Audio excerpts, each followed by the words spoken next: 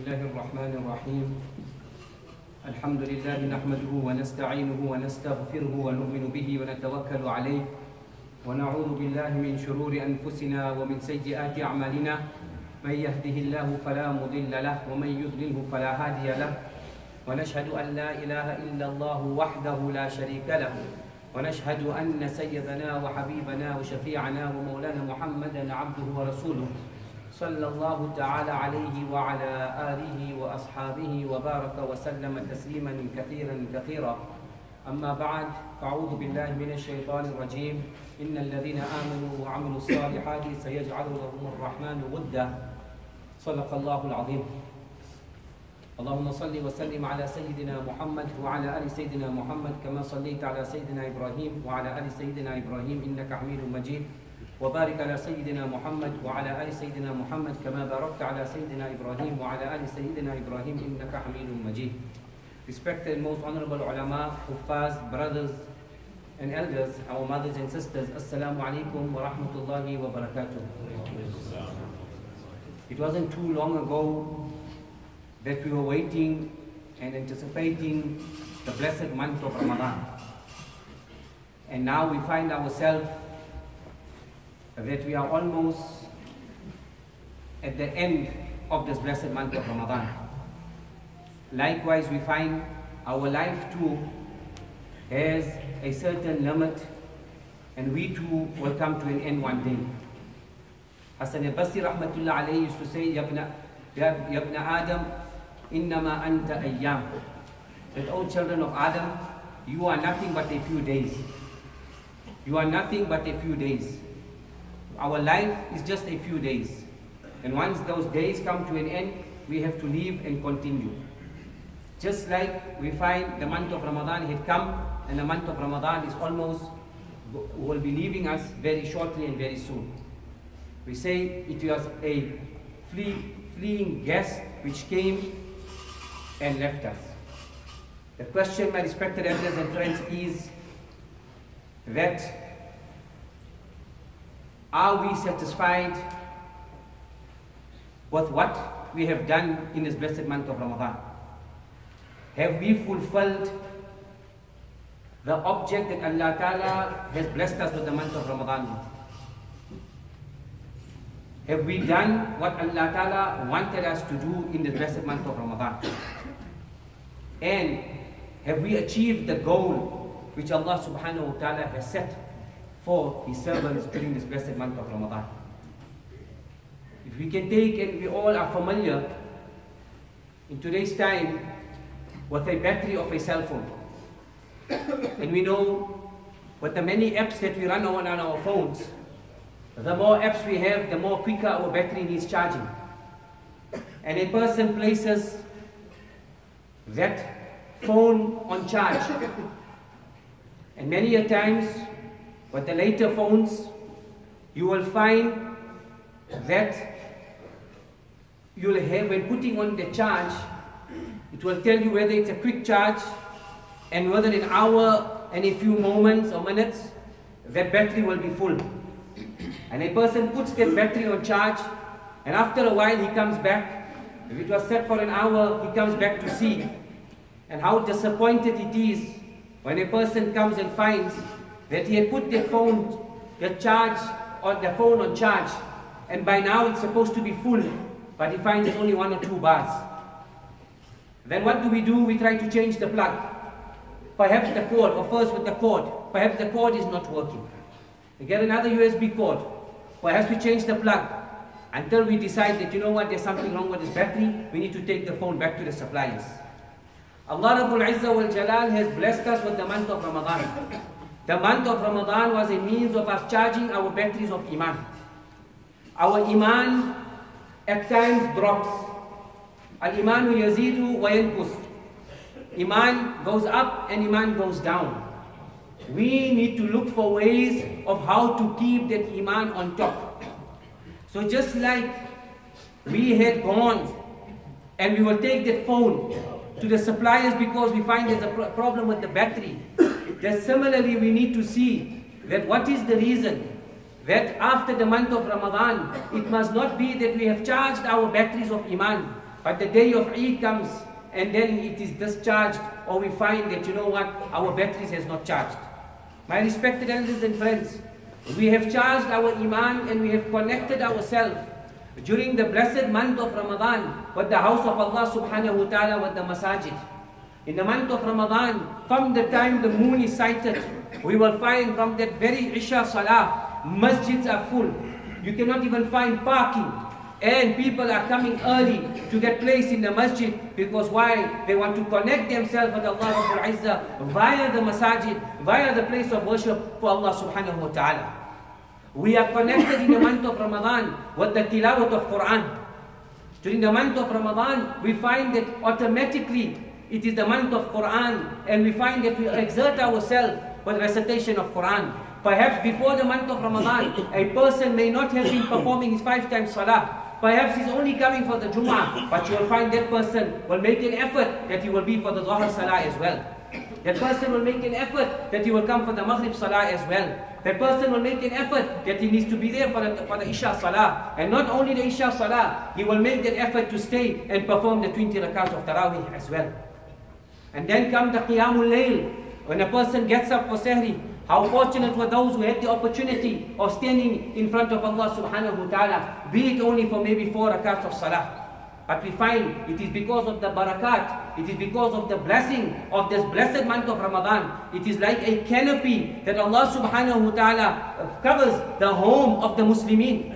And we find that those barakat and those blessings are descending upon the homes of the Muslims. And because of that, a person gets the opportunity, a person gets the tawfiq of actually uh, spending uh, more time in the worship of Allah subhanahu wa ta'ala.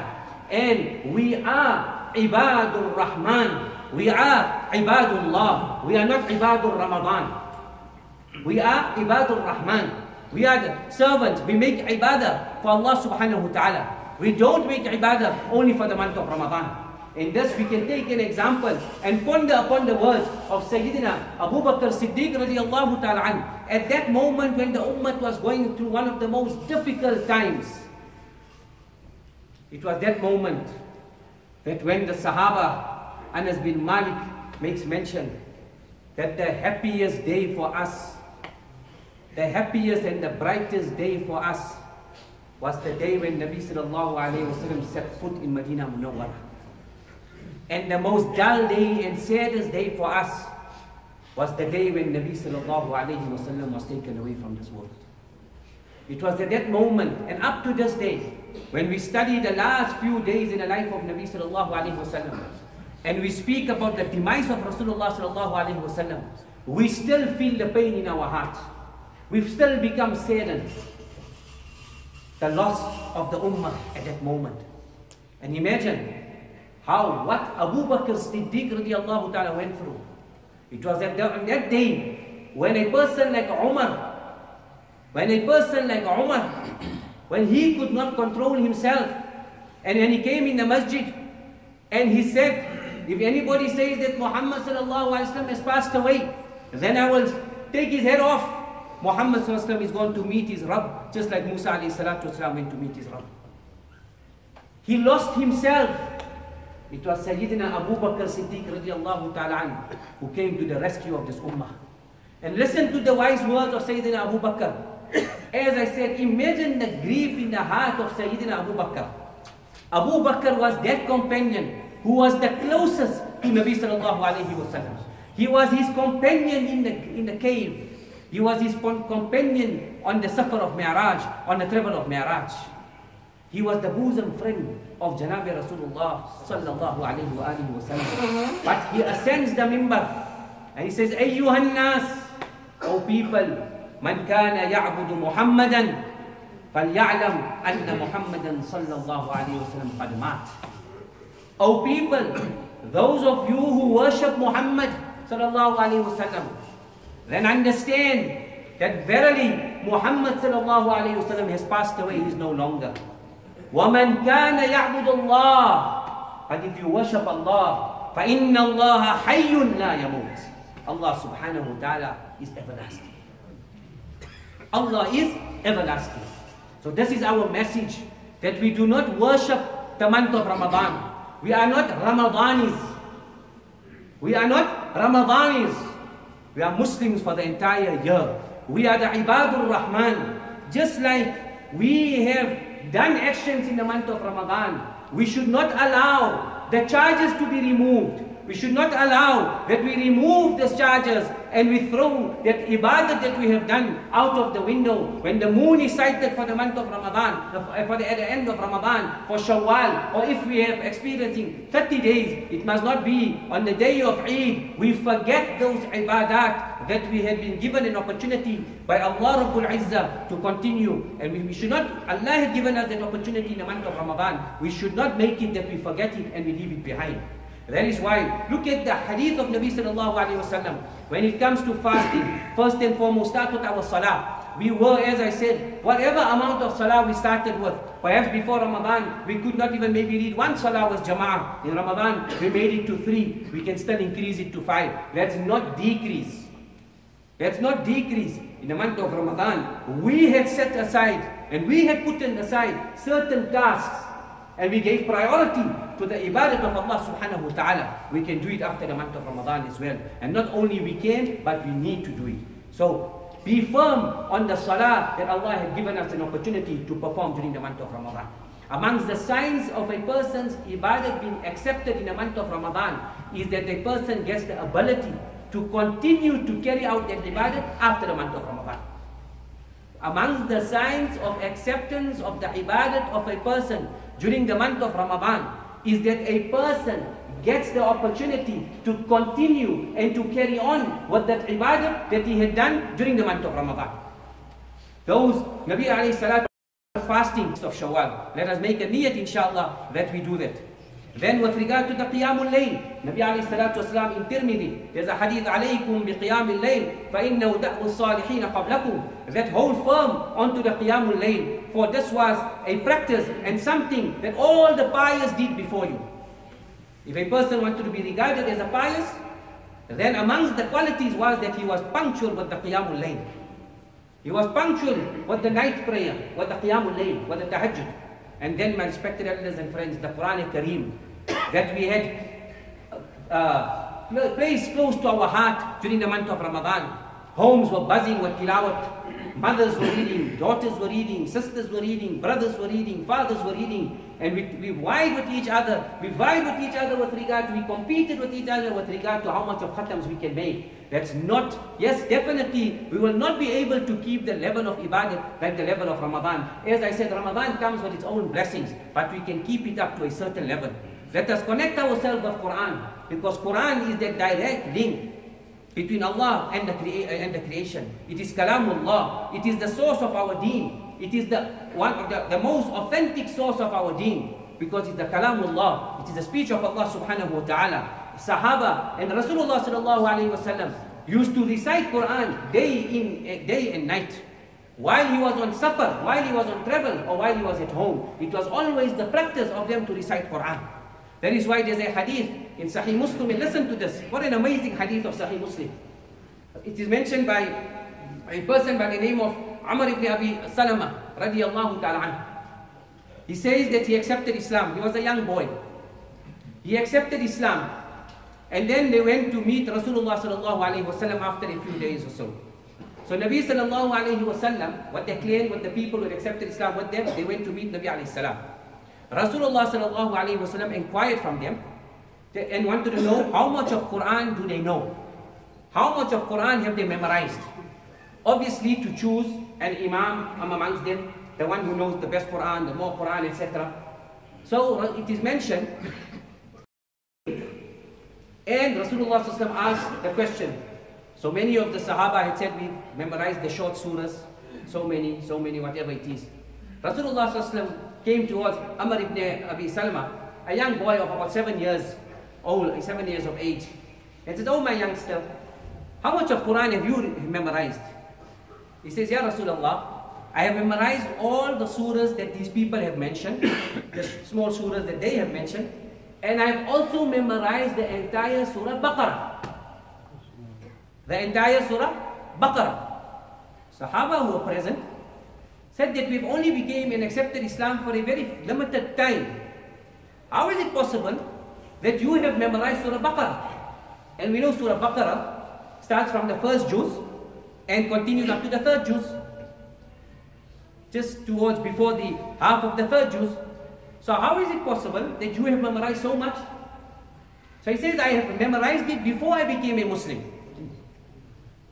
I have memorized it before I became a Muslim. Sahih, Sahih Bukhari riwayat. And how is that? He says that our place is situated in such a way, in such a uh, area that travelers normally pass when they are coming to Medina or when they are leaving from Medina, they have to pass our vicinity. And we have a well with sweet water.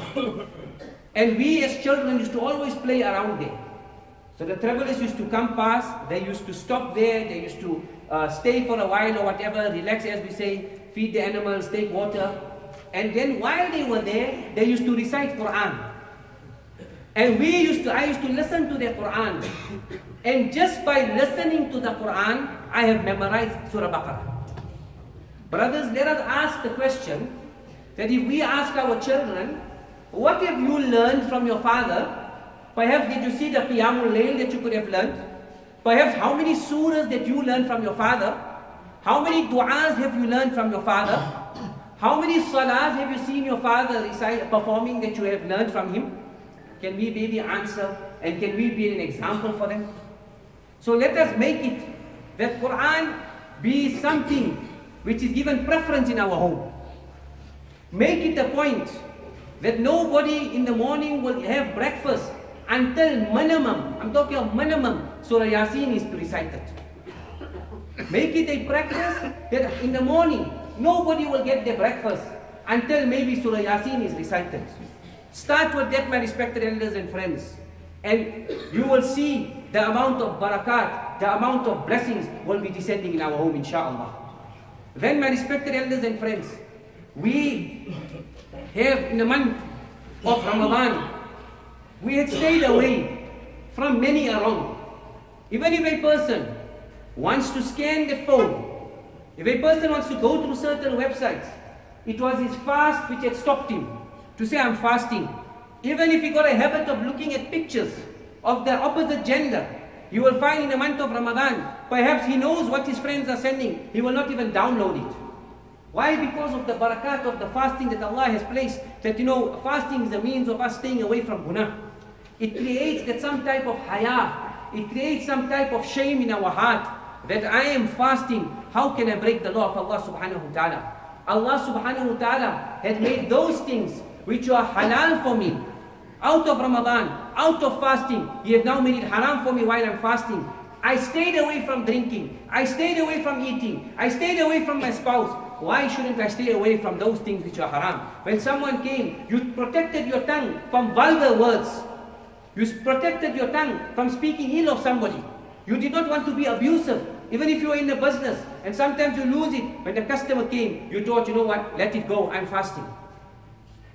That was the barakat of Ramadan. So keep up that as well, that momentum. Sahaba, Rasulullah sallallahu alayhi wa sallam was sitting once and said, Ala astahyuna min Allah? Ala astahyuna min Allah? Uh, are you ashamed of Allah? When you disobey Allah, are you not ashamed of Allah? Aren't you ashamed of Allah when you disobey Allah? Aren't you ashamed of Allah when you disobey Allah? Abdullah ibn Mas'ud radiallahu ta'ala narrated to Sahaba were there. We said, Wallah ya Rasulullah, Wallah ya Rasulullah, inna lanastahi min Allah. O Nabi of Allah, yes we are ashamed of Allah. So Nabi alayhi salatu wasalam says, what I mean is al-haya'u min Allah haqq tahfad al-ra'sa wa ma wa'a. That what is, what I mean, that the true haya from Allah is that you protect your head and whatever it contains from the evil. So your head, whatever is around, connected to the head, be it your mind, thinking of evil, looking at evil, listening to evil, talking about evil, eating haram, all those things, that is what is known as haya. That is what is meant by fulfilling the right of haya.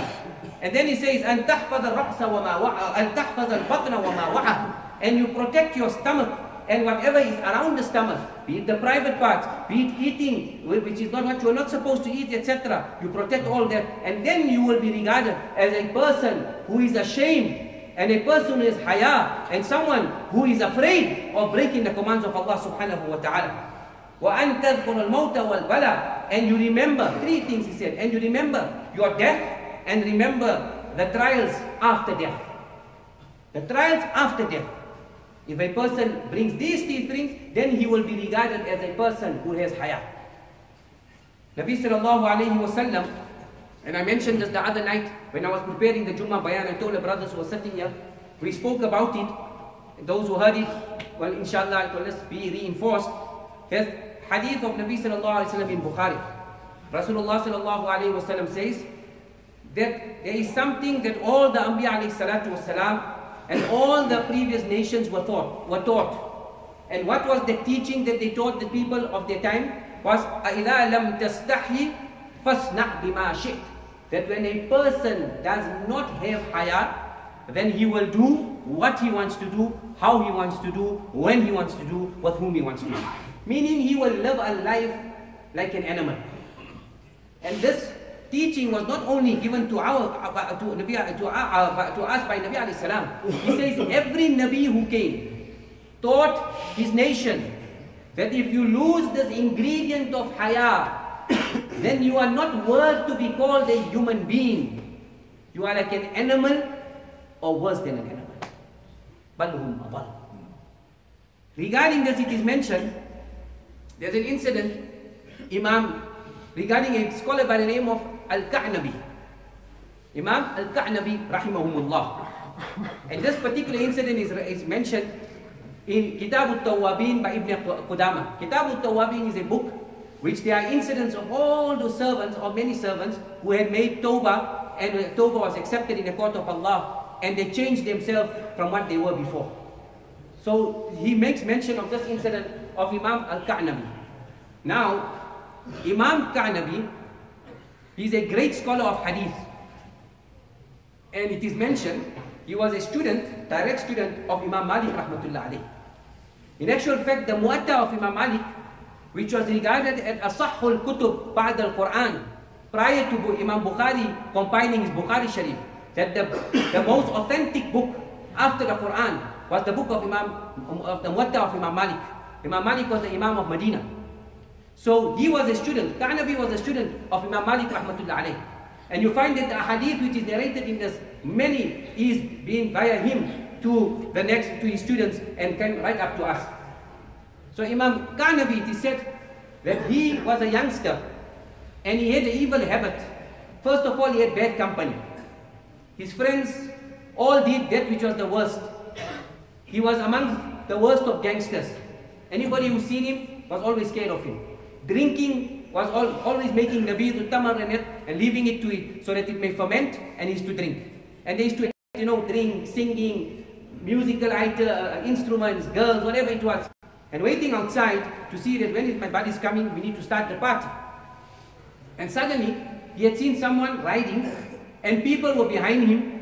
People are standing in front of him. Some people coming and greeting him. Some people kissing his forehead. And some people, what, they all just revering and respecting this person. So he said, Man hada Who is this person? So they said, Hada Shu'bah. Shu'bah ibn Hajjaj. Man Shu'bah? Who is Shu'bah? What is he? So they said, Amirul Mu'mineen fil Hadith. He is one of the great scholars of Hadith. So he went there, so he greeted him, and he said, uh, I heard that you're a scholar of Hadith. So he said, yes, people do tell me, Alhamdulillah. So he said, narrate the Hadith to me. So Shu'bah told him that you are not, it doesn't seem to me that you're a student of Hadith. Why? He was dressed in clothes which was in red in color. And as we know, to wear full red garment is prohibited for us.